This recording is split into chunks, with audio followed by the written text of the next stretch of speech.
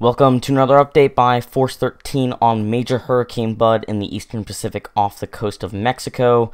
It is currently a storm that is still intensifying, although expected to start weakening soon as it approaches the Baja Peninsula of Mexico.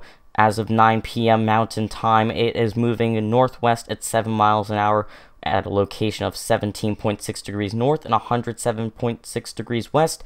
It has a minimum pressure of 951 millibars and maximum sustained winds of 125 miles an hour. As of the time of this recording, there is currently no warnings in effect, but that should change the next day or so as the storm continues to move northward, as watches and warnings should be put out for the Baja Peninsula within the next day. Here's the current National Hurricane Center forecast cone for Hurricane Bud. If you take a look, you've noticed that shifted west over the past day or so, as the system has moved more west-northwest than northwest compared to what the original cone said yesterday. So you'll see there's a change that yesterday the center was saying that there would be landfall on the southern tip of the Baja Peninsula. That has shifted west now to the southwest area of the peninsula, away from the resort area but knowing systems in this hemisphere, that can mean slightly stronger wind impacts for the area as well. The other thing you can notice is that the National Hurricane Center's intensity forecast has risen compared to yesterday as the storm has gotten stronger and stayed stronger for a longer period of time than was initially forecast. So, compared to yesterday where we had a weak tropical storm potentially impacting the area, it could now be a moderate to strong tropical storm. Here's the current intensity guidance from computer models. Uh, they all say that Buds reaches peak right now, and that's going to weaken as the days go on, reaching days 5 as a minimal tropical st storm or even a tropical depression. However, when we look at these, we should keep in mind that these models are a few hours old.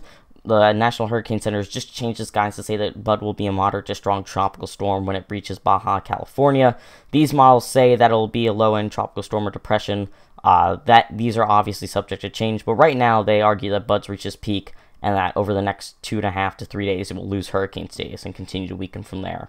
One thing that is helping Bud maintain its intensity right now is wind shear. It's currently an area where there's no wind shear at all, if not decreasing in the near future for where Bud is going. However, as you can see, a bit to the north of the storm, wind shear starts to pick up, and according to the forecast tracks and models, this is what's going to help start eating away at the storm and weaken it over the days 1 to 5 outwards from here as land interaction and wind shear will start to tear part of the system, rip out its moisture, and weaken it overall. The other factor that may contribute to weakening of Bud during the next couple days is sea surface temperatures. Even though they are marginal and can support a tropical cyclone, they may not be warm enough to support a high-end Category 3 hurricane at this point, and during the next couple days, as it continues to chew up this warm water, it probably will start to cool down a bit, especially as it continues to near the peninsula, and that will probably help the storm start to weaken a bit as time goes on into the next couple days, and we'll see what happens with the storm, but it looks like sea surface temperatures won't be supporting it much longer. Here's some satellite imagery of Hurricane Bud during the later part of the day today into sunset over the storm. Uh, this is about an hour too old as the time of the update, so things may have changed slightly since this. But as you can see, the storm is looking better and better defined as the day has gone on. Eyes become cleared out more, storms becoming more circular. There has been some hints that the storm may potentially be going annular, although the odds are against it doing that as the storm may be potentially going down on itself in the next 12 to 24 hours as conditions start to fall apart around the system. Here's the water vapor imagery as well. You can see right now that the storm has plenty of moist air to work with around it. It's nowhere near where Aletta was, uh, directly to the far left of the screen where you can see lots of dry air in the image. It's got plenty of moist air to work with off the coast of Mexico. And you can see with this imagery really how the eyes clear out more during the day into the start of the night and is much wider now, much more cleared out. And um, whether or not this holds remains to be seen, but the storm is certainly looking more impressive right now than it has been earlier in the day and yesterday. Here's what some of the computer models say right now with Bud. This is the HWRF model. It starts off weakening Bud pretty quickly as it moves northward, bringing it to Baja California as a minimal tropical storm, uh, making landfall on the southern tip as well.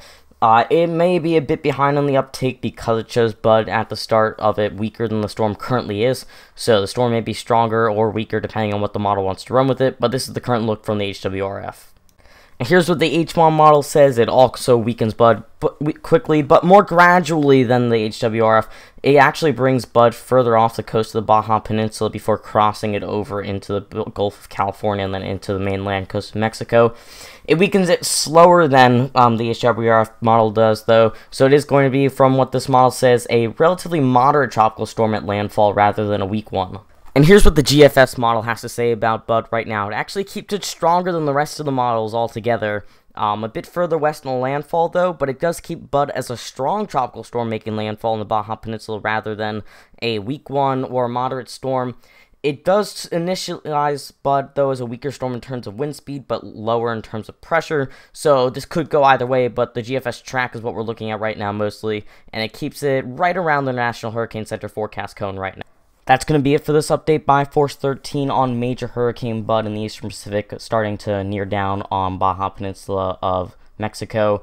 This update was made in coordination with Hypercyclone X, our Mexican partner. Make sure to check them out in the link below to check out their Facebook page. Make sure also to subscribe to this YouTube channel right here if you haven't already to keep track of all tropical cyclones. We make updates at least once or twice a day on every active cyclone. Make sure to also check us out on Facebook and Twitter at Force13, all in text. We've also launched a Patreon now at Force13 on Patreon so that people like you can contribute money to us to help us grow our project even better and stronger as every day goes on.